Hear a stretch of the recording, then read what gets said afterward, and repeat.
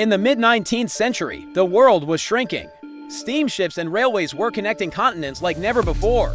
But this new interconnectedness came with a terrifying, unseen price. Today, we're talking about the forgotten killer of 1865, a cholera outbreak that exploded along the Suez Canal, claiming over 30,000 lives in just a matter of weeks. This wasn't just any outbreak, it was a flashpoint in the fourth global cholera pandemic a wave of disease that swept out of India in 1863. By 1865, the Suez Canal was a bustling construction zone, a massive project employing tens of thousands of workers from across Europe and North Africa. They lived in crowded, unsanitary camps, a perfect breeding ground for disease.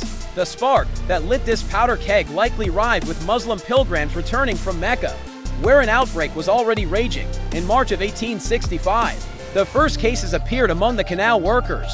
The disease spread like wildfire. Cholera is a brutal and swift illness. Victims would be healthy one moment and, within hours, suffer from severe dehydration, leading to shock and death, sometimes in less than a day. Panic gripped the region. The construction camps became death traps. People fled in every direction, but they couldn't outrun the bacteria. The outbreak followed the flow of human traffic, moving from the canal zone to major Egyptian cities like Alexandria and Cairo.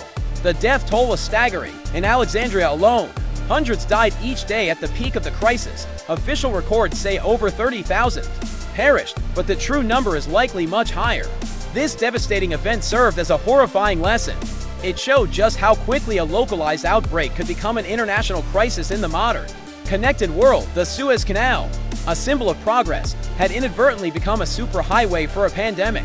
It forced nations to rethink public health and led to the first international sanitary conferences. Early attempts to coordinate a global response to disease. It is a stark reminder that the challenges of global health we face today have deep roots in our shared history.